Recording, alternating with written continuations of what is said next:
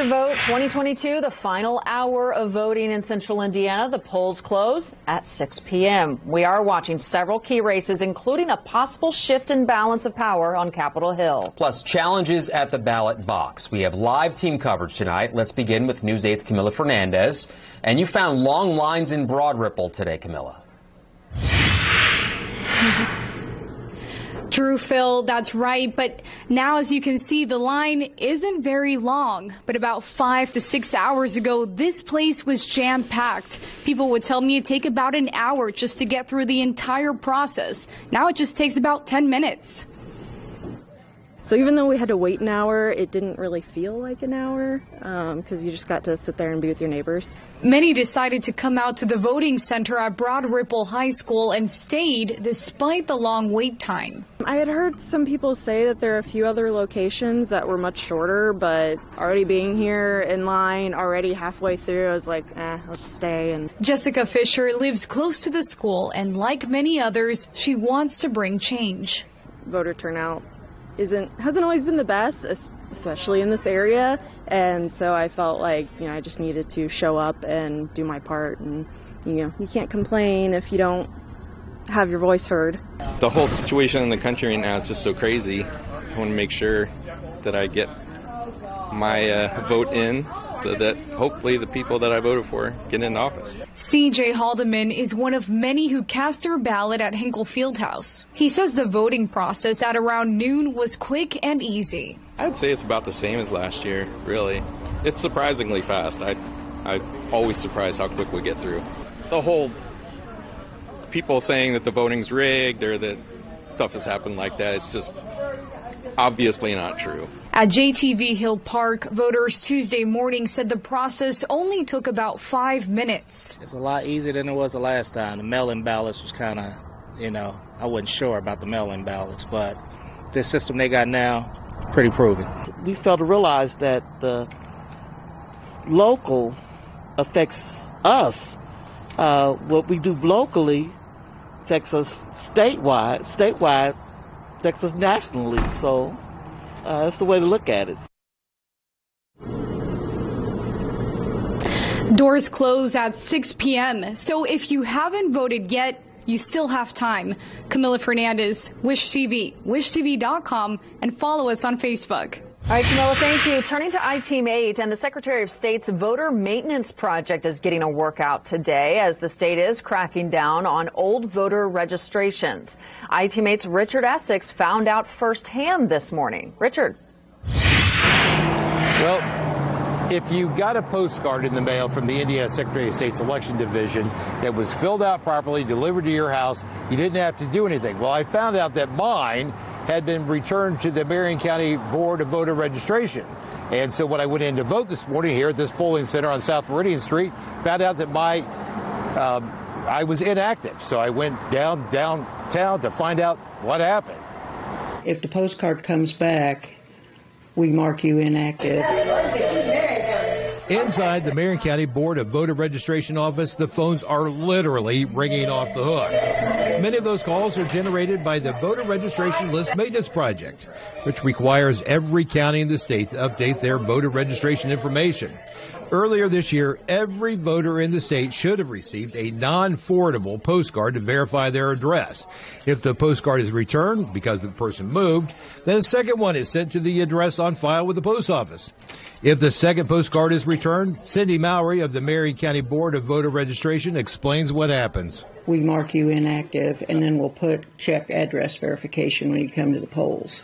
Here's how it works. Poll workers scan the voter's government ID. If the registration is inactive, the poll inspector is called to verify the address of the voter. I was not asked to provide any additional documentation of my address and was allowed to vote as normal. As of this morning, Mowry didn't have an exact number of the people listed in Marion County as inactive. I was told by a poll worker this morning there have been more than a handful of inactive voters come to the voting center on South Meridian Street. Mowry said the calls that are coming into her office are from poll inspectors trying to work out voter registration and address issues as the voter is waiting. If an inactive registration voter does not vote in a general, special, or primary election by January of 2025, their registration will be canceled. After January 2025, a voter's registration will be canceled, but it will not be removed from the statewide voter registration poll. Now, but if you decide you're going to vote after that date, you're going to have to prove to the the poll inspector that you still live at that address.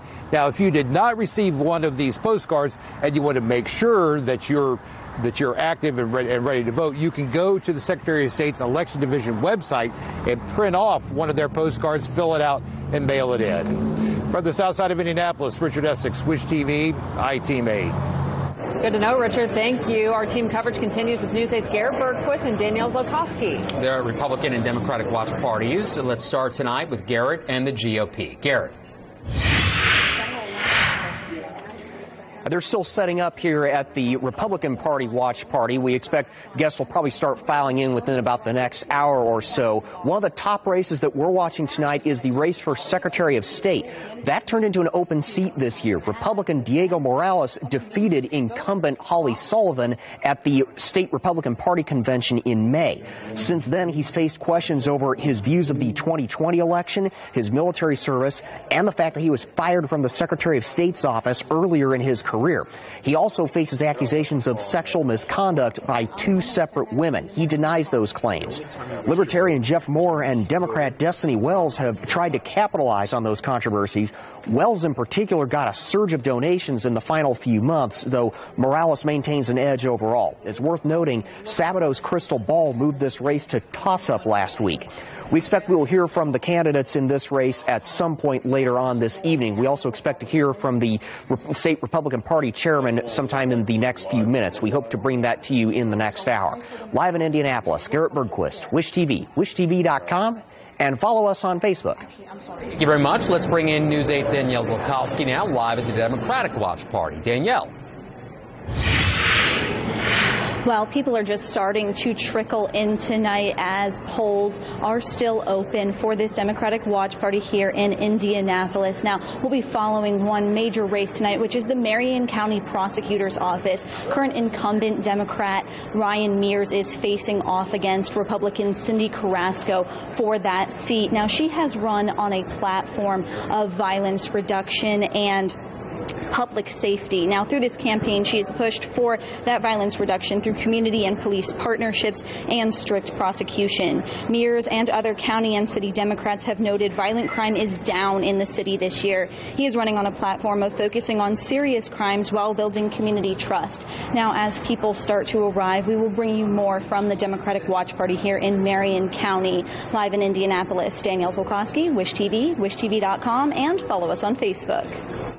Danielle, thank you. Defending your vote, a grassroots organization is taking up the duty, bringing out what it calls election defenders, making sure last minute campaign workers and others follow the rules. But organizers tell News 8's multicultural reporter Katiera Winfrey the work runs much deeper than that. Count Us In says the focus today is on election defenders, but all year they work to diversify civic engagement. They say it's important for you to know your rights at the polls, but also how to advocate for yourself when it comes to talking to legislators who don't often look like you. Voting, it's a civic duty that's worth protecting, especially if you ask members of the grassroots organization Count Us In. We look at voting and civic or really civic engagement holistically, like today it's really important to vote that's a huge part but we also want to make sure that people's voices are heard at all levels the agency has been working hard leading up to election day with surveying sites and volunteering with phone banks it's all part of the efforts in indianapolis to help voters understand what's on the ballot specifically with the National Asian American Women's Forum of Indiana to support Asian but also black voters. The flyer said, Hey, Auntie, did you vote? But that's the feeling you're calling fam just to show up. And I think for the community, by the community type of initiatives like that, just motivate people so much more. With Election Day officially here, the work extends farther than that. This round, they brought out election defenders to support efforts to the north in Fort Wayne. We're just making sure that it's a safe space for people to vote and they're not turned away. Count Us In says voting, for the most part, went smoothly, with only a few issues that needed to be addressed. So far this morning, we've had people too close to the door. Um, we've had some issues with um, violent images, unfortunately, being shown as a way to push their efforts. They say you can be your own election defender, know the rules, and report problems you see while casting your vote. For folks that work all day long, they may only have like 15 minutes to vote, and so they don't need anybody else interfering with that. Count Us In says they also worked ahead of the election with Indiana Disability Rights to survey sites to make sure they were accessible to people who have disabilities. Reporting in Indianapolis, Katiera Winfrey, Wish TV, WishTV.com, and follow us on Facebook.